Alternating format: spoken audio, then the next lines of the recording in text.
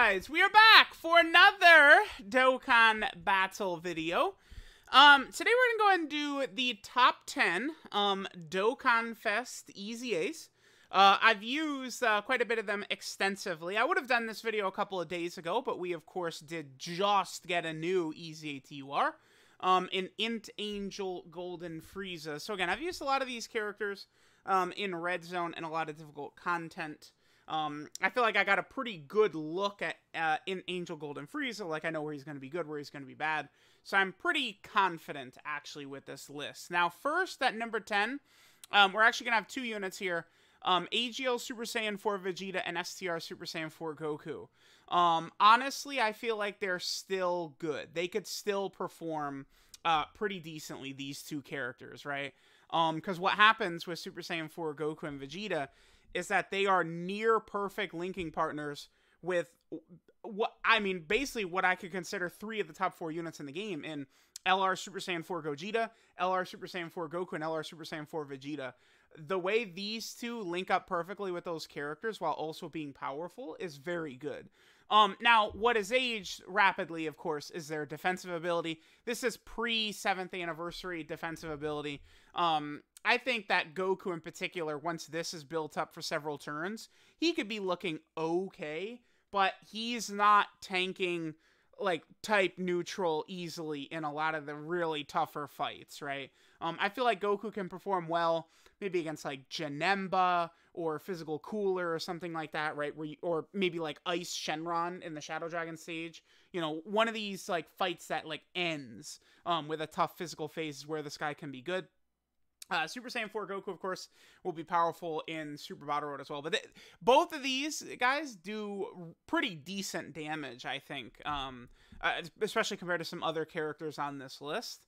Um, I do like both. I, I think both Super Saiyan 4s um, are looking very good. Um, so next we actually have EZA TEQ Hit right here. Now, Tech Hit has definitely fallen from when he first came out. Um, I think a lot of this, though, is that he, he doesn't really have what I would consider teams. Yeah, he has zero, like, what I consider relevant teams right now. Zero, right? Uh, same problem that, like, Hit and God Goku have. Um, Hit, though, you know, I if he had a perfect, incredible partner, like imagine like LR Super Saiyan 4 Gogeta shared like six out of seven with Hit. You definitely could use Hit in the red zone, right? Like it's like he's not gonna like, oh my god, he's double digit tanking, but like you, I, I feel like he could be effective, right? If he had like a really good linking partner who was like a slot one character. Um, maybe if Hit and God Goku get a team that they could be utilized on, and then this Hit is also on there, perhaps, right? We'll see. Um, but it doesn't quite exist right now. Um, what a lot of people think Angel Golden Frieza can do in Super Battle Road, this guy can actually do in Super Battle Road.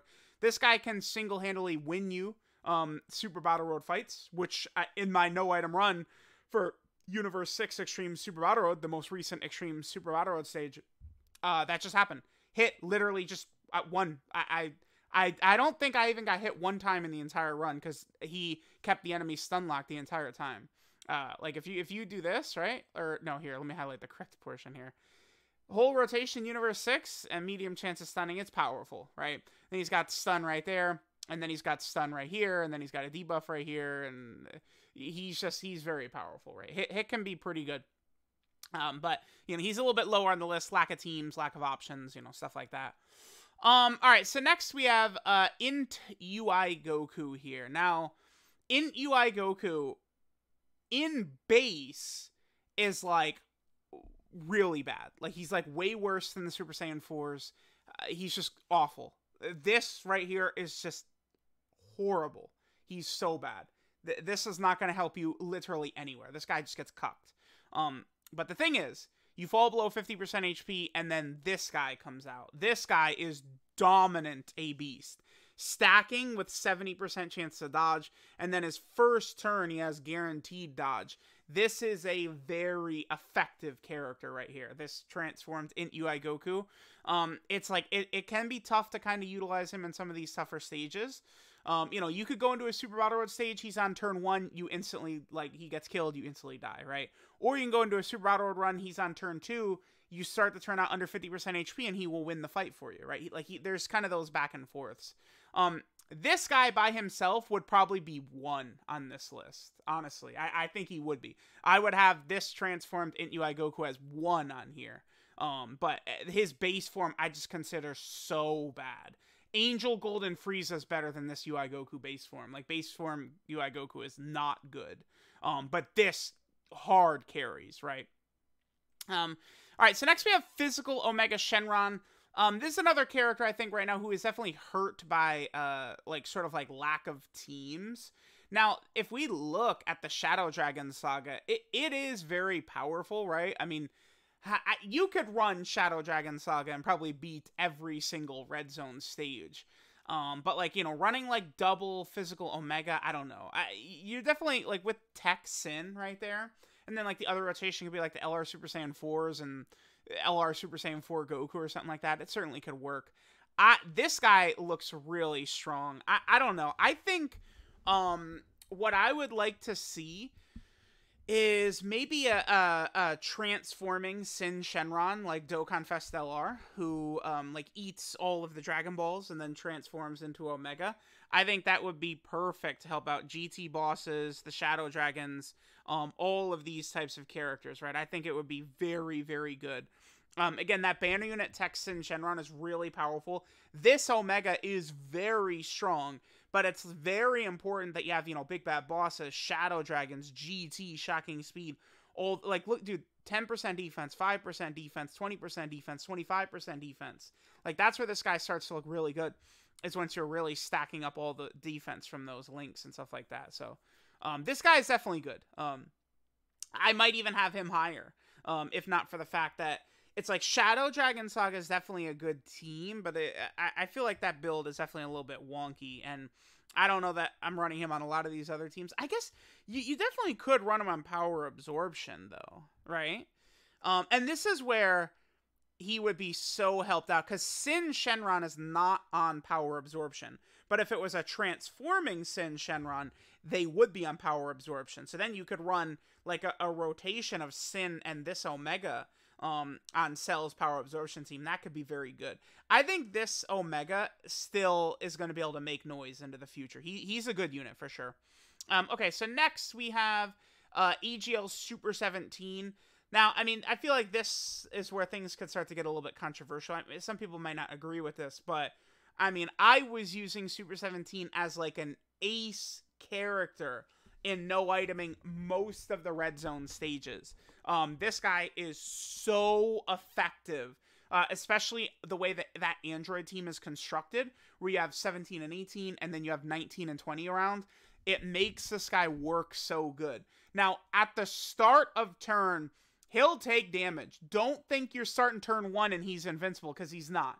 It's the same. Tech Ultimate Gohan is not invincible turn one either anymore. No, he's not. Um, but like he, it's just like one super attack, and all of a sudden he's tanking like crazy. Tech Ultimate Gohan, and then he just keeps going, and you know he's not taking damage from anything. Um, Super 17 is like that too, except Super 17 has to take a couple of hits before his damage reduction builds up, so he could really take a lot of damage. Um, but his effectiveness in the very most difficult content in the game, uh, you know, I would have liked to have put him even higher. I, do would I put him in front of Super Saiyan 4 Gogeta? I don't know. I don't know if I could put him in front of Super Saiyan 4 Gogeta though. I, I feel like Super 17's in a good spot. This guy's really good. Um the what the thing that just sucks, this guy is like he would be the Broly killer. This would be like the biggest the the best unit in the game against Broly if you could dodge Broly. Because the AoE phase, this guy would cuck him. AGL Broly is like the you know the toughest phase in the game. Uh, Gogeta have type advantage. Broly could double super. Gogeta could double super attack counter him in one. Like it would get nasty. This guy would dominate Broly so hard, but they just say nope, you can't dodge, and then that locks this guy out of dominating what is you know the hardest fight in the game. Um, this guy could still be very effective in a lot of the red zone fights though. Um, he does have this extreme class enemy debuff, which can be helpful, of course, if you're doing like um some Super Battle Road stages or Battlefield. I think that could be very good in Battlefield, right? This guy can be very effective against like Battlefield Broly, who is really powerful right now. Um, this guy's good. Uh, but this guy is a, he's a bit comparable to the Int Super Saiyan 4 Gogeta. I've found that like once this is built up to max, right? Like this guy definitely feels more powerful than the Int Super Saiyan 4 Gogeta, and he's got a better chance to counter too. Um, but it's like you know, uh, this guy is good, but it, it's just he he kind of has an unfortunate situation where the other thing too with him is that he doesn't rock, he doesn't have Saiyan Roar, right? So it's like a lot of times I'm running the LR Super Saiyan 4 team and I'm just gravitating towards the LR Super Saiyan 4s, which are just superior characters, right? Uh, that have Saiyan Roar that are better linking up with Super Saiyan LR Super Saiyan 4 Gogeta, because that's uh, that's the best unit in the game, right? The character you build around, right? And it's like the LR Super Saiyan 4s and the, even the EZA TUR Super Saiyan 4s link up better with LR Super Saiyan 4 Gogeta than the regular Super Saiyan 4 Gogeta. So that's one thing to keep in mind as well. Um, all right, now we start to get into very, very good units. Um, next here we have Physical Future Gohan. Um, I think that Physical Future Gohan is actually very powerful. Um, so it's a bit deceiving. If you look at him, you see he's got this 120% attack and defense, and then a medium chance to crit if there's a Future Saga Trunks in the same turn. That is not like um like he needs that to be good. That is not the case. In my experience, this guy is tanking like Red Zone Broly. It's just about him building up this damage reduction. So he starts out at 30% damage reduction, and he builds up another uh, 28%. This fully built up, this guy in like the second and third slot, super attacking, he can eat a super attack from like Red Zone Broly, Red Zone Omega, all these tough Red Zone bosses without a Trunks in the same rotation. So it's just very effective. 58% damage reduction is very good and especially he works very well on the Goku family team led by Goku and Gohan. You know, you could run like a full all in the family build. This guy is great on there. I found this guy was helped by the red zone. The red zone being brought in, I feel like has made this guy better to me. I like him a lot better because he uh, how well he performs in those red zone stages and I would say this is probably more of a red zone character um, than like Super Battle Road or something like that. Since you know Super Battle Road, he's only got the thirty percent damage reduction, right? He still has to build that up. So that's definitely uh, a very important thing to keep in mind right there. Um, next, we have STR Ultimate Gohan. Um, now, STR Ultimate Gohan um, is a character who. Uh, it, it's you know he's one of these coin flip characters where sometimes he's really not that good um sometimes he is really good uh, right? Because he has to get his guard to activate. Um, the one thing a lot of people don't understand, like they just they act like he's an every single turn coin flip the guard character, which he's not. Right? Once you get the the coin flip to actually proc right here, um, then he has it for the next four turns, which can be very helpful. Keep in mind if he gets hit by a physical type enemy, that will activate his guard as well. Um, this guy could do pretty good damage if his guard is up and he could triple super. He is also a support type unit. This guy is powerful. It's just, you know, if, if he was just a guaranteed guard character, he'd be number one on this list easy, right? Um, but, like, you know, sometimes you're going to get killed. Uh, he is very good, though. Um, this guy might actually be better, too, um, with the movie stuff potentially dropping soon. We, we will see, right? Um, all right, so next we have AGL Turles. I have AGL Turles at numero dos right here. Um, I think AGL Turles is very good. Um, I personally have seen his defensive numbers and offensive numbers at just like utterly ridiculous levels.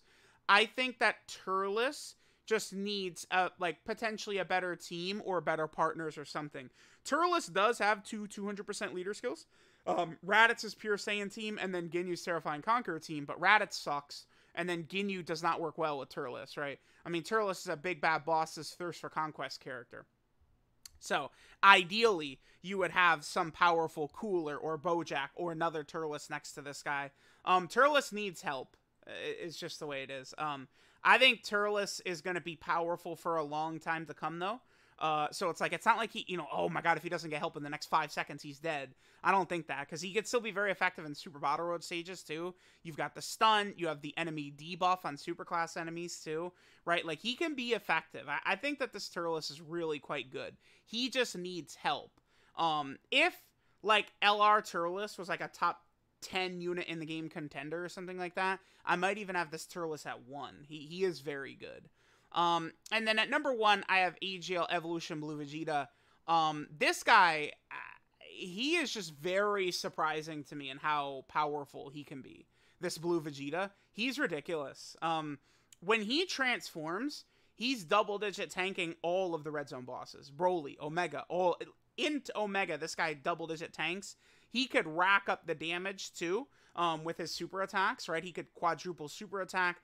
He's a good, got a good Saiyan Link set. He's on a million teams. He's on multiple 200% lead teams. I've no item, so many red zone stages with this guy on the team. He's just very powerful. I, I, I real, I feel very comfortable putting this guy as number one. I feel like he's he does a lot. He, it's very easy to just run him. He's very cohesive with the team. He does not drag the team down. Because remember, the thing about some of these red zone stages too is it's like these red zone bosses. They know, man. They bully the weak link on the team. They, oh, I prom, they will always bully the weak link on the team, and that is not Vegeta, right? Like you know, Vegeta can get caught by a super attack, but I mean, Super 17 could take supers in the red zone. S tier Ultimate Gohan can if he's guarding. Physical Future Gohan can, especially if he super attacks first as the introduction's built up. Gogeta can counter it, you know, but in UI Goku, he's got to be transformed or he gets one shot, right? Like, a, a lot of these characters, like, I, I'm comfortable with this. Um, yeah, this looks good. This looks good. The only thing, maybe hit in front of you. Nah, nah. I'm, I'm okay putting UI Goku in front of hit. Um, I will probably go with this some people maybe would be upset about an Angel Golden Frieza, but no way, dude. Like, there's nowhere to run him. Um, like hit is way better in Super Battle Road, right? Like, I, I just this guy is just not that good. Angel Golden Frieza. I'm sorry. Like, they just did not do a good job with him. He debuffs super class allies, yet they want you to run him with Universe Seven reps. Like, doesn't really make a ton of sense. Weird, wonky design.